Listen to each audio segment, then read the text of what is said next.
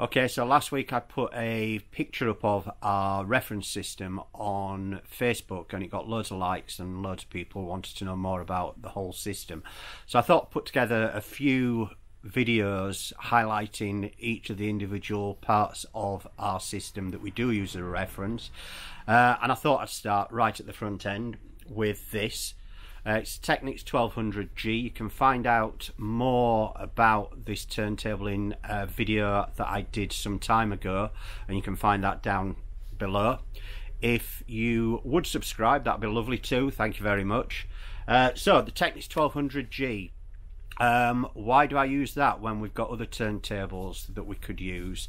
Um, first of all, I do have other turntables that we can use. I've got an SME 10 with a 309 arm. I've got a Origin Live turntable uh, and all the rest of it. And since this arrived, I've pretty much not used any of those. Um, now, the 1200G doesn't purport to be the best turntable in the world.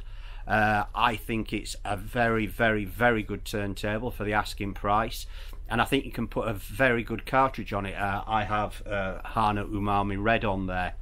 Uh, for me, it's the perfect reference because you have the opportunity to change head shells, and as such, you can have different cartridges mounted on different head shells, and you can change them over really quickly.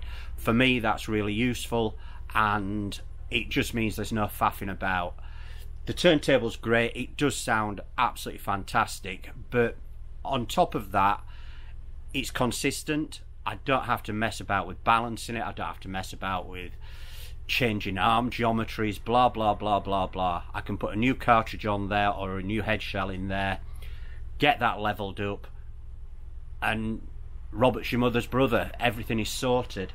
Uh, I have added this. It's from Paul Knipe at Solid Sounds. Uh, it's basically a little bit of a skirt that fits onto the 1210 and it takes it away from that DJ look and I really like it. Um, that's the front end of our system. I'll be following up with more videos about other bits and pieces of the system in the coming days or coming weeks. Um, hope you enjoyed it. Watch the next one and don't forget to subscribe.